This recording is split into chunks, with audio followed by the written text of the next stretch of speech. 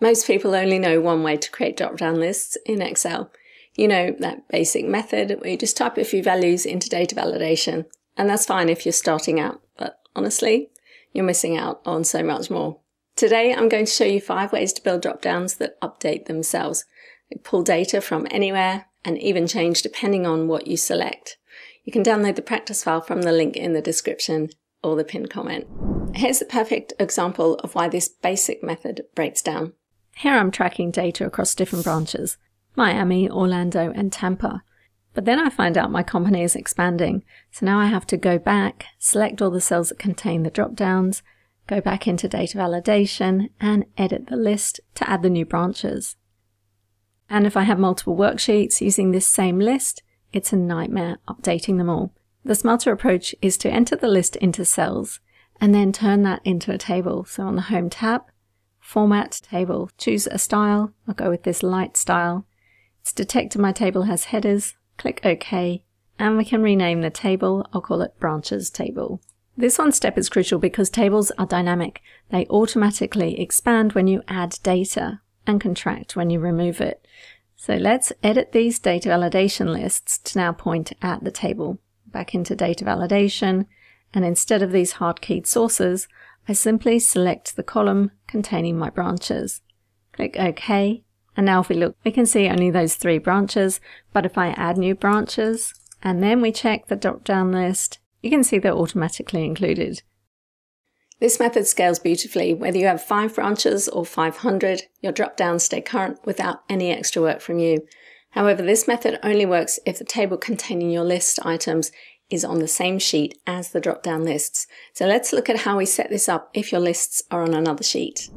In this example, we're managing employee records, but the department list is on a separate sheet. Now, if you use the previous technique, we'll go and insert a data validation list, and the source is the department list here. Click OK.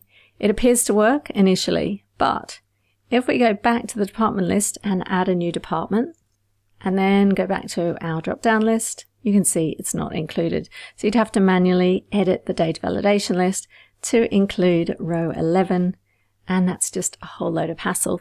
Thankfully, there's an easy solution. Instead of referencing the table directly in the drop-down list, first, define a name for the list. So with the column selected, on the Formulas tab, define name. I'll call this Department List or DEPT list for short. You can see in the refers to, it's referring to my department table, department column. And click OK. Then I'll go back in and edit the drop-down list. So instead of referencing the table, I'm going to enter the name we just created. Now, if you can't remember the name, press the F3 key. It brings up the list of names. Select it and click OK or double click to insert it. Click OK there. And now we have the list that references my department list here. And if I add a new department, let's add customer service and go back. We click on the drop down, there's customer service automatically included. Defining names for your ranges makes your spreadsheets easy to maintain. One person can manage the master department list, then every drop down across every sheet automatically stays current. However, notice this list isn't sorted. And what happens if your list has blanks? In that case, we can use a formula to extract a unique list that ignores the blanks. We can't put formulas that spill results directly in the drop-down list dialog box, so I'll put it here in a cell beside the table, or you could put it away on a working sheet. I've got a placeholder for it here. So I want to sort the list. It needs to be unique. And I'm going to use toCol to grab the list of items. And toCol has an argument that allows me to ignore blanks. And that's number one close toCol, close unique, close sort, and we get our spilled list without the blank. Now I'll define a name for that cell, define name, we'll call it department list, and I'm just going to reference the first cell in the spilled array, followed by the hash sign, which will tell Excel to return everything in that spilled array, and it will automatically include new items and contract if I delete any. Click OK. We'll go back to the drop-down lists, select the cells, and edit the range. So instead of dept list, we're going to insert our new name, which is department list. Click OK. And now if I click on the drop down, you can see it's nicely sorted and it doesn't contain any blanks. and it will automatically update as your data grows. Now we're getting into advanced territory. What if you need a drop-down that changes based on what you select in another drop-down? For example, here I've got product categories and product columns, and they're linked to my product table here. But currently, if I select furniture, I see all 12 products laptops, desks, printers, paper, etc. Everything's mixed together, and that's asking for errors. What I really want is when someone selects electronics, they only see the electronics items. When they select furniture, they get the furniture items, etc. This is called a dependent or cascading dropdown. And for this, I need a lookup table. I'm going to place it here beside my product table just so that we can see it in context, but you typically have this tucked away on a working sheet.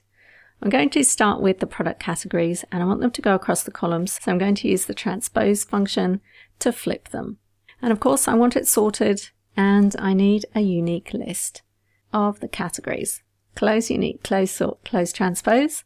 There's my headers or my list of categories. Next, I need to populate those categories with their individual products. And of course, I want them sorted. And then I'm going to use the filter function to extract the products where the category equals the category here. And if it doesn't find anything, I'm going to return a blank as denoted by two double quotes. Close parentheses on sort, close filter, press enter, and it spills the results. And then I'm going to copy it across to the other categories. And in order to allow for more categories to be added, I'm just going to copy it across a few more columns. Control V to paste. We don't see those extra formulas because there's nothing to return, so the blanks are displaying. Now, I don't need to edit the product category data validation list because it's referencing my table. Just remember if the table's on another sheet, you want to define a name for that. However, for my product lookup, I'm going to go into data validation and instead of referencing the table, I'm going to use XLOOKUP. What am I looking up? The selected product category. And I want this to be relative, so F4 three times to get rid of the dollar signs, comma. Where am I looking it up? In this row here, going all the way out to column T to allow for growth, comma, what am I returning? The spilled array lists underneath in row 7. Note I'm only selecting the first row. Then I'm going to close parentheses on XLOOKUP, and in order to return the spilled array, we add the hash outside of XLOOKUP. Click OK, and now if I select the drop down for furniture, I only get the furniture items, and if we select office supplies, I only get office supplies, which prevents errors and speeds up data entry. What if you could select one item and have Excel automatically fill in the related information? So here I'm assigning employees to projects and Excel automatically populates the department and hourly rate for me. I'll go back to my demo file and let's look at how we set this up. I've already got my employee name drop-down list inserted and if we open it up you can see it references the names in the database table. So nothing more to do there. Remember, if this table is on another sheet, then you'll need to define a name for the employee name column first. Now, to populate the department and hourly rate, you could use VLOOKUP, index and match, or I'm going to use XLOOKUP. What am I looking up? The employee name. Where am I looking it up? In the employee database table. And what am I returning? The department. If nothing's found, we'll return blank close parentheses on XLOOKUP, and there's my results. And I'm just going to copy that formula and paste it in there. And then instead of department, we want hourly rate. Press enter and that's done. So now when I select my employee from the list, it automatically populates the department and hourly rate. No more work to do. What we just did wasn't about a single trick. It was about combining skills. And that's where the real power of Excel lies. When you know how to bring together features like data validation, lookup functions, and tables, you stop working at the surface and start building solutions that feel effortless. And that's exactly what I teach in my Excel Expert course. Step-by-step tutorials, practice workbooks, and real-world projects designed to help you move beyond the basics and actually think like Excel. Most people plateau at basic formulas and drop-downs. The ones who learn to combine skills are the ones who get noticed and promoted and trusted with bigger opportunities. You'll find the link in the description and pin comment if you're ready to unlock that level. Now, let's move on to our final drop down method. Here's where modern Excel really shines. Instead of manually maintaining drop-down lists, you can use formulas to create them automatically from your data without having to maintain a separate list. Here I have a product catalogue with categories for laptops, tablets, monitors, printers, etc. Some products are active, others are discontinued. If I were building drop-downs the old way, I'd have to maintain a separate list of active products and keep updating them when the status changes. But with Excel's filter function, I can create drop-downs that build themselves. I'm going to generate the list of products beside my order form so we can see it in context, but you can hide it away on a working sheet. So I want to filter the products in my product table where the status equals active. And if nothing's found, I'm going to return blank. Close parentheses on filter. And we get our list of products. However, let's make it more robust. I'll F2 to edit the formula, and at the front I'm going to wrap it in the unique function just in case there's duplicates in my table. And why not sort it as well? So we'll add sort. Go to the end, close parentheses on unique and sort, press enter, and there's my sorted list. So in here I'm going to add my data validation list and we're going to reference the spilled array here. So I want the hash sign to pick up all the items in the spilled array. Let's test it. By the way, in later versions of Excel, you can have a drop-down list automatically filter as you type.